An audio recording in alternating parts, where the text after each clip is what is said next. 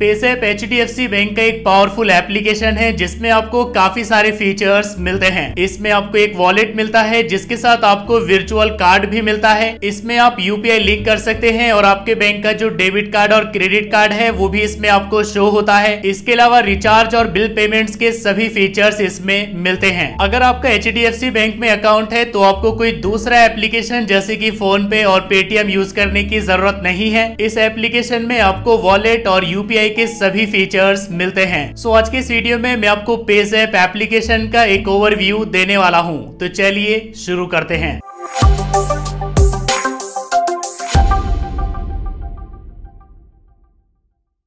Play store से page app new version install कर लेना है। इसका लिंक आपको वीडियो के डिस्क्रिप्शन में भी मिल जाएगा। ओपन करने पर इस तरह का यूज़र इंटरफेस देखने को मिलेगा। Let's get started. इसमें आप एक मोबाइल नंबर डालकर प्रोसीड करेंगे। अगर आपके मोबाइल में दो सिम है तो आप सिम सिलेक्ट कर लेंगे। किस सिम से आप पेज ऐप अकाउंट क्रिएट करना चाहते हैं, जैसे की मैं सिम वन यहाँ पर सिलेक्ट कर लेता हूँ। इसके बाद सेंड एस एक एसएमएस सेंड किया जाएगा आपके सिम को वेरीफाई करने के लिए। एचडीएफसी बैंक में जिस नेम से आपका अकाउंट है, वो नेम आपके सामने सामने आ जाएगा। इसके बाद प्रोसीड इसके बाद आपको वेरिफिकेशन करना होगा। वेरिफिकेशन आप तीन तरीकों से कर सकते हैं। क्रेडिट कार्ड डेबिट कार्ड और कस्टमर आईडी जैसे कि अगर आपके पास क्रेडिट कार्ड है तो यहाँ पर आप क्रेडिट कार्ड के लास्ट फोर नंबर एंटर कर देंगे। अगर आप डेबिट कार्ड से वेरीफाई करना चाहते हैं तो आप यहाँ यूज़ अनदर कार्ड पर क्लिक करेंगे। आपके सामने डेबिट कार्ड आ जाएगा। इसमें आप डेबिट कार्ड के लास्ट फोर नंबर एंटर करेंगे। इसके बाद verify account and link card पर क्लिक करेंगे। पेज ऐप के साथ जितने भी कार्ड को लिंक किया गया है, वो सब आपके सामने आ जाएँगे, जिसको आप रिमूव करना चाहते हैं, आप इस तरह से रिमूव कर सकते हैं। जैसे कि मैं इस क्रेडिट कार्ड को रिमूव कर देता हूँ कार्ड रिमूव हो जाएगा। इसी तरह से अगर आपको और कार्ड ऐड करने हैं तो आप यहाँ से ऐड कर सकते हैं। इसके बाद प्रोसीड इसके बाद आपको अपना बैंक अकाउंट यूपीआई में सेट कर लेना है। अगर आपके पास रुपए क्रेडिट कार्ड है तो उसको भी आप सेट कर सकते हैं। एड न्यू पर क्लिक करेंगे। अगर आपको क्रेडिट कार्ड ऐड करना है तो आप क्रेडिट कार्ड पर क्लिक करेंगे। और अगर आपको बैंक अकाउंट ऐड करना है तो बैंक अकाउंट पर क्लिक करेंगे। किसी भी बैंक अकाउंट को आप सेट कर सकते हैं। जैसे कि मेरा अकाउंट है एचडीएफसी में तो यहाँ पर मैं एचडीएफसी को सिलेक्ट कर लूँगा। HDFC में जितने भी अकाउंट्स होंगे, वो सब आपके सामने आ जाएँगे। जैसे कि एचडीएफसी बैंक में मेरा करंट अकाउंट है तो वो यहाँ पर एड हो गया है। इसके बाद प्रोसीड इसके बाद आप एक यूपीआई नंबर क्रिएट कर सकते हैं। अगर आप अपने मोबाइल नंबर को ही यूपीआई नंबर बनाना चाहते हैं तो आप यहाँ टर्म्स को एक्सेप्ट करेंगे और क्रिएट यूपीआई नंबर पर क्लिक करेंगे। और अगर आप किसी और नंबर को अपना यूपीआई नंबर बनाना चाहते हैं तो आप यहाँ कस्टम नंबर पर क्लिक करेंगे। जो भी आप यूपीआई नंबर क्रिएट करना चाहते हैं, वो आप यहाँ पर एंटर करेंगे। इसके बाद टर्म्स को एक्सेप्ट करेंगे और क्रिएट यूपीआई नंबर पर क्लिक करेंगे। तो आपका एक यूपीआई नंबर क्रिएट हो जाएगा, जिससे कोई भी किसी भी यूपीआई एप्लीकेशन के थ्रू आपको पैसे ट्रांसफ़र कर सकता है। पेजेप वॉलेट क्रिएट हो चुका है। इसमें आपको एक वर्चुअल डेबिट कार्ड भी मिलता है, जो की आप यहाँ पर देख सकते हैं। यानी आपके वॉलेट में जो भी बैलेंस होगा, उस बैलेंस को आप इस वर्चुअल डेबिट कार्ड से भी यूज़ कर सकते हैं। पेजेप अकाउंट सेट हो चुका है। इसमें wallet